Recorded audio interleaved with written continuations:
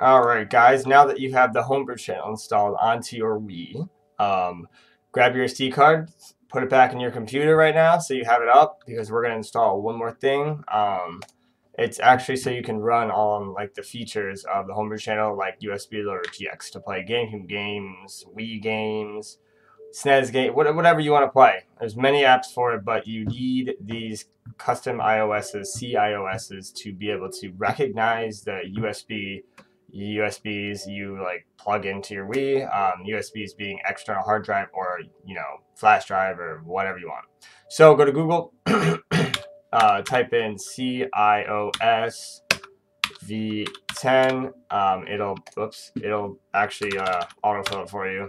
Maybe for you, it autofills it for me. So I don't know. Anyway, type that in. You're gonna go to this CIOS Wii guide. Um, I'll put the uh, link in the description too, so check it out. Go here, excuse me, click on this. It's going to download in the bottom left corner. Let that download. Um, takes like two seconds. So these are the instructions right here. Don't look at these yet because this is something you're going to do on your Wii. So go down to here, the folder install, click on it. As you can see, there's an apps folder. You don't need to click on it. Just, uh, I'm just showing you what's inside it is, uh, you know, the boot.dol, which is the program. Anyway, you got the apps folder, right? Copy. And I'm going to plug my SD card in. Look at me, I'm unprepared. Plug your SD card in, if you already haven't. And here's the uh, letter bomb stuff we were doing before. Excuse me. You can actually uh, leave the letter bomb stuff in there. Just copy and paste this folder right to the uh, root of your SD card, and there it goes. There's apps right there. Alright, now that you have that, I'll see you over at the Wii.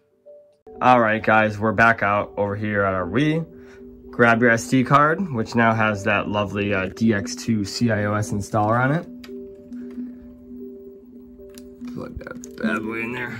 Alright, it's recognized. Grab your Wiimote. Click on Homebrew Channel. I love this little song they have. Shit. oh, you can see my reflection. What up? Alright. the only app installed. Click on it. Load that bad boy up.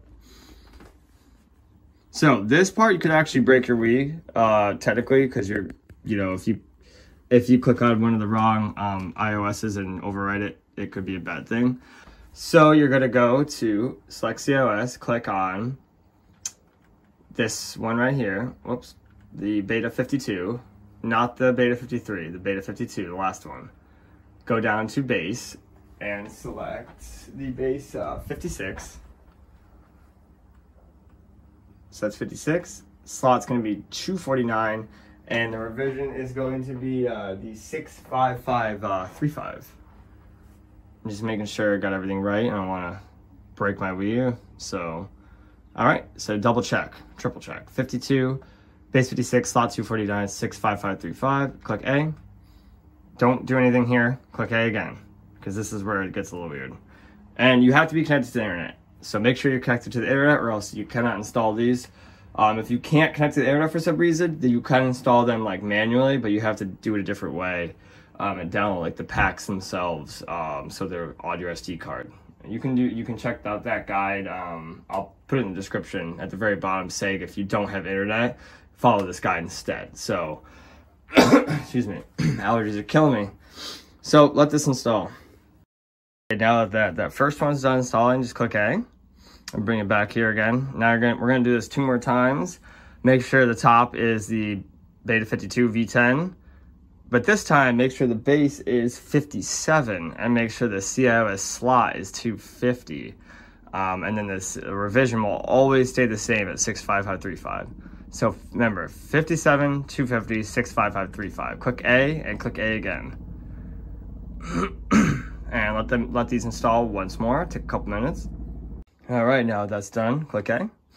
And last, third and last one, remember 52, beta 52, CIOS base 58, CIOS slot 251, CIOS revision 65535, A, A again, boom. Wait for this to finish, and we're good. All right, and click A again. And that's it. You don't have to do any more of these. Just hit B on the back of the Wiimote. Or actually, sorry, uh, yeah, it's B. I thought it was Z at first.